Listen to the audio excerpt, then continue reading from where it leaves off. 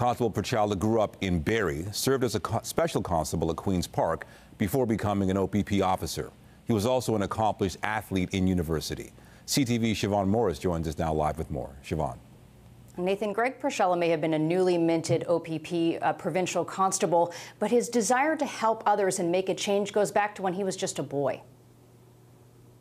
Constable Greg Pierzchala was only 28, killed on his first day responding to calls on his own. This is a man who, at five years old, decided he wanted to be a police officer. And he had a brief opportunity to live out his dream and to do his best to keep our community safe. There were other steps along the way. He had served with us as a special constable at Queen's Park prior to becoming a provincial constable. He was a member of the Canadian Armed Forces.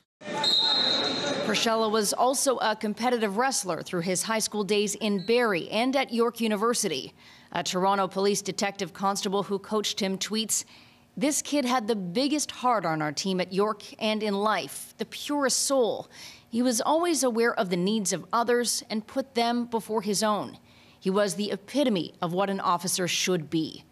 Pierzchala's family and his colleagues are now feeling the sting of loss. Speaking with all of his platoon mates at the hospital tonight, everybody commented about what a fantastic police officer Greg was, what a tremendous individual he was. A life filled with promise cut tragically short.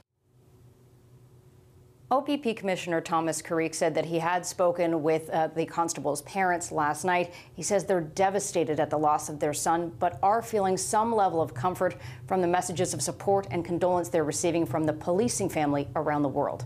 Reporting live, I'm Siobhan Morris. Nathan, back to you.